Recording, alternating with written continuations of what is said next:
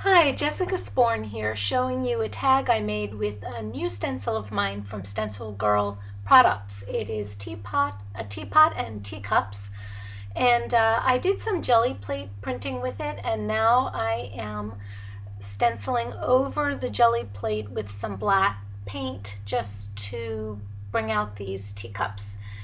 And I decided to cut one out that I'm going to use in this tag.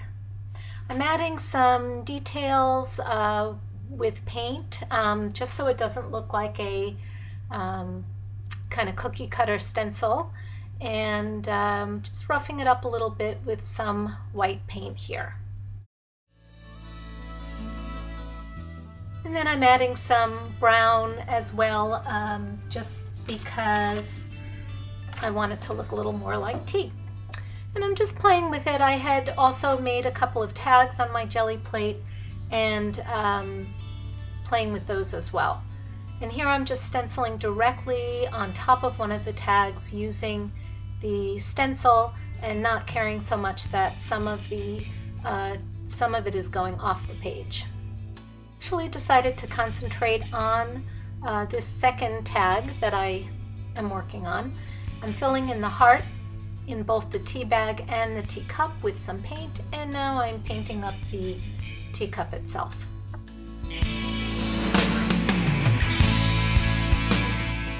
Each new layer of paint builds on the one before. It's all very translucent so you can see the under layers as well.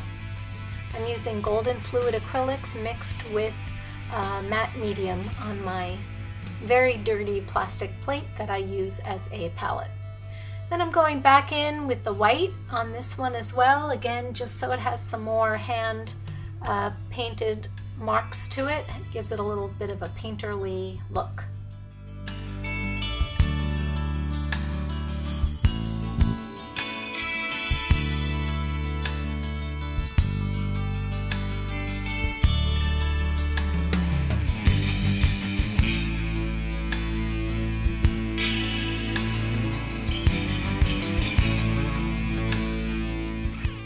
Using some phthalo turquoise golden fluid acrylics to add some shading and some shadowing.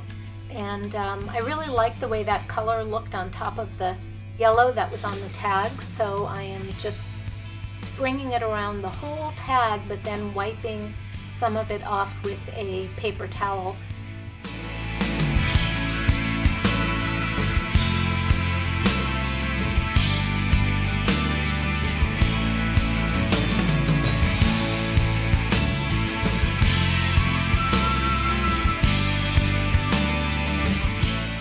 I'm going back in again with the turquoise for some shading.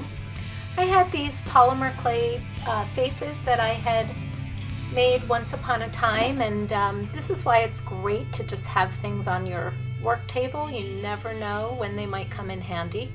And uh, I also had done some Gelli plate printing using the doors and windows stencil and so I'm using some leftovers from that to make some more hearts uh, to put around the page. I could have also used the heart from the um, teapot stencil, but I wanted the dimension that the cutouts bring.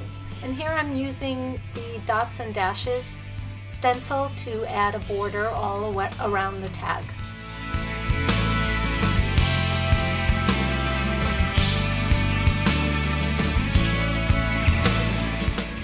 And then I'm just using my very skinny rigger brush, R-I-G-G-E-R, to um, outline the hearts, going back in with the phthalo turquoise, phthalo, phthalo, I'm never quite sure about that.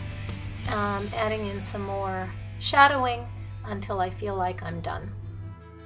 And then I added a sentiment with my own handwriting, brew some calm today. So here are some other designs that I did with the teapot and teacup stencil. I hope you like them. You'll check it out at stencilgirlproducts.com. And please feel free to share this video. I would love if you do.